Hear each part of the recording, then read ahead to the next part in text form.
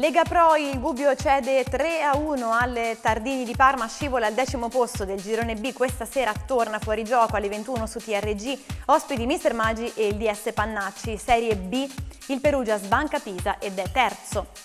Serie D, prima vittoria stagionale per il Foligno che regola 1-0 Muravera. Città di Castello, disco rosso a Rieti per il volley, Superlega, terza sconfitta filata per Sir Perugia, rimontata 3-2 a Civitanova.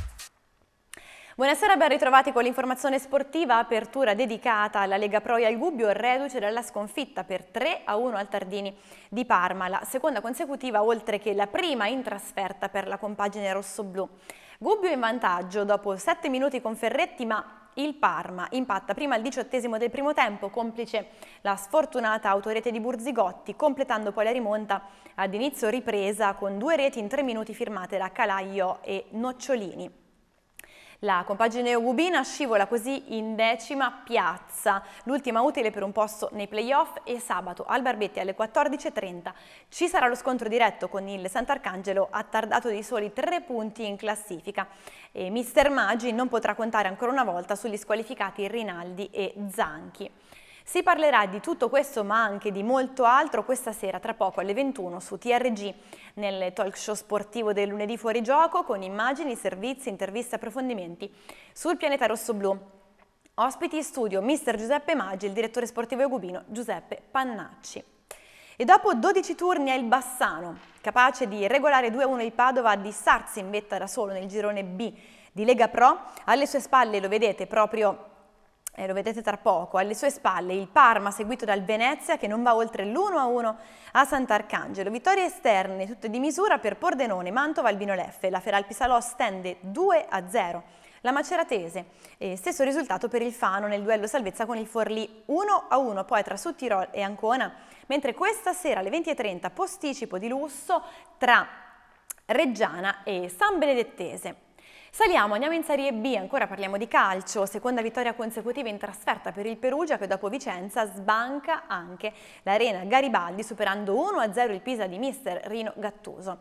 Eh, decisivo il gol di Nicastro al diciassettesimo del primo tempo che permette ai biancorossi di agguantare la quarta piazza in classifica. La squadra tornerà ad allenarsi domani per preparare la gara interna prevista domenica contro il Trapani dell'ex mister Cosmi.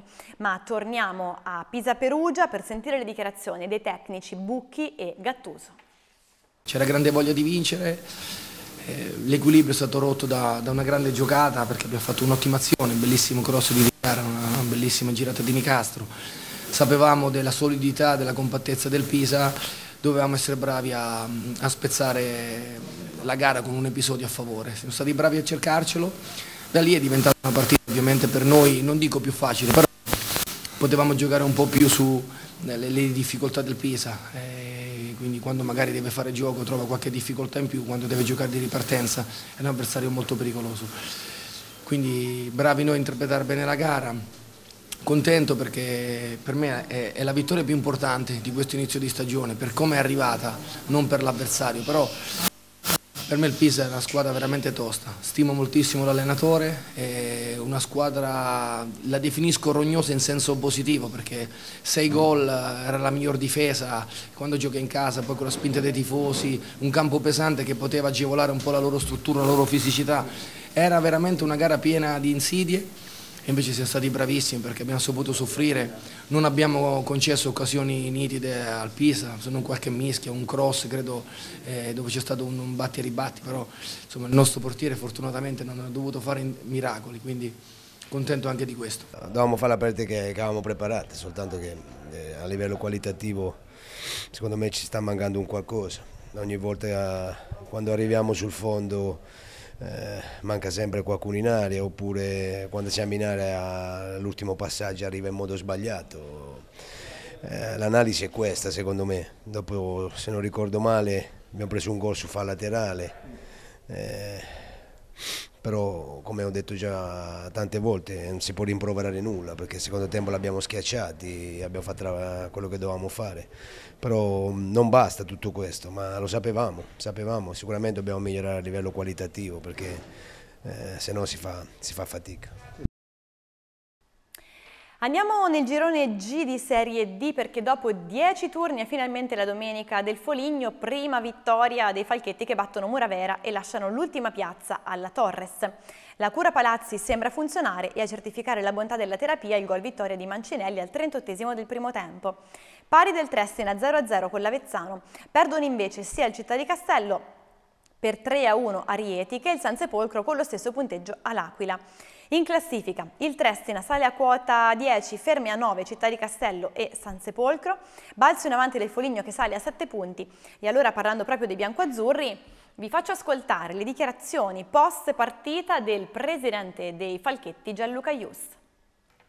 Prima vittoria del Foligno, la speranza è l'ultima a morire, il percorso è lungo ma sicuramente come in settimana è stato detto mattone su mattone alla fine il Foligno riuscirà a ottenere questa salvezza.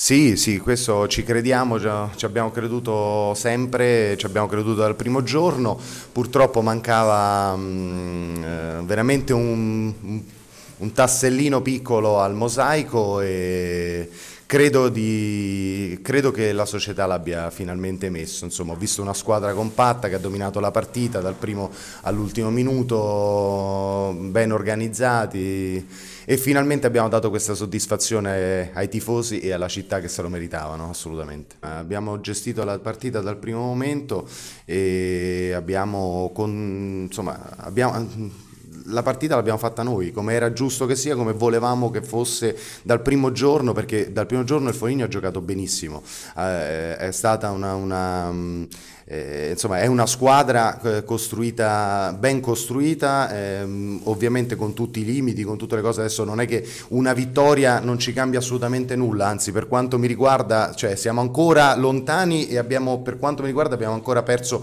moltissimi punti, quindi dobbiamo pian piano recuperarli e credo che la squadra stia andando nel verso giusto ed è sempre più Bastia in eccellenza regionale. La capolista supera anche l'Angelana nel derby e mantiene a più 3 il vantaggio sulle inseguitrici. Tiene il passo la Voluntas Spoleto che batte in trasferta l'Atletico Orte, bene anche il Castel del Piano che travolge il Torgiano per 3-0. Poker dell'Ama sul Fontanelle Branca finisce poi 4-2 per la squadra di Bonura che sale in terza piazza a quota 15 punti, mentre il Fontanelle Branca resta a quota 10. Sconfitto 2-0 il Villa Biagio a Ventinella con la società marcianese che respinge le dimissioni di mister Guastalvino. Esonerato invece il tecnico della Subasio Caporali che dopo la sconfitta interna per 2-1 con il Massa Martana eh, appunto le ha consegnate. Al suo posto arriva l'ex Foligno Favilla, cade nel recupero anche il Gualdo Casacastalda Petrignano 1-1 tra San Sisto e Narnese. Cambiamo sport, andiamo al volley. Superlega è una Sir Perugia dal doppio volto, quella che prima inchioda la Lube Civitanova e poi però si fa rimontare per cedere al tie break. Quasi tre ore di battaglia sul parquet marchigiano con un match a due facce. 22-25 e 19-25 primi due parziali che illudono i tifosi perugini, ma Civitanova vince il terzo set per 25-23, impattando poi nel quarto 25-21. Ho ehm, avvio shock nel tie break con un 4-0 iniziale di Civitanova, Perugia prova a reagire ma sull'8 a 7 perde terreno e cede 15 a 10 ai marchigiani. Terzo KO filato per la SIR il riscatto è atteso mercoledì sera nel turno infrasettimanale quando i bianconeri affronteranno i pali evangelisti Molfetta. Andiamo in B maschile sempre di volley, successo in trasferta per pallavolo Città di Castello che spugna per 3 a 1 il campo di Pineto. Invece in B1 femminile Perentorio Blitz anche per la Tumperugia, capace di battere a domicilio 3-0 le toscane di Castelfranco di Sotto, mentre San Giustino capitola in casa con lo stesso punteggio contro le modenesi di Montale Rangone. Siamo al basket di Serie A1 femminile. Pallacanestro Umbertide torna a vincere superando per 62 a 45 Battipaglia al Palamorandi. Grande prova della squadra di coach Serventi con tre giocatrici in doppia cifra. 17 per Brown, 13 per Mallarde e 10 per Milazzo. Prossimo turno ora per le Umbertidesi sul parquet di Ragusa. Sconfitta cocente invece, invece al photo finish per Sicoma Valdiceppo che cede 72 a 71 a Senigallia nella sesta giornata del girone D di B nazionale maschile. Prossimo turno per i ponteggiani al Pala Castellini contro Porto Sant'Elpidio.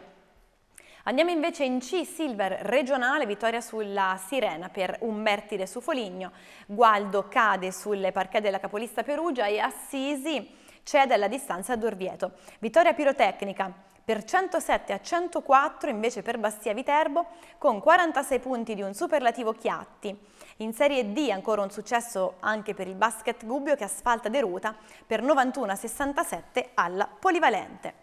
Era tutto, era questa l'ultima notizia per il nostro TG sportivo, vi ricordo che l'informazione targata TRG continua ancora, quindi rimanete sintonizzati anche per seguire l'approfondimento del TRG Plus e poi il salotto sportivo del lunedì fuori gioco. Domani mattina dalle 7.30 in diretta e poi in replica vi aspetto per leggere insieme i quotidiani regionali eh, con la rassegna stampa. Vi ricordo il nostro sito di riferimento www.trgmedia.it per seguire eh, i streaming in tempo reale la programmazione del canale 11. Grazie e buona serata.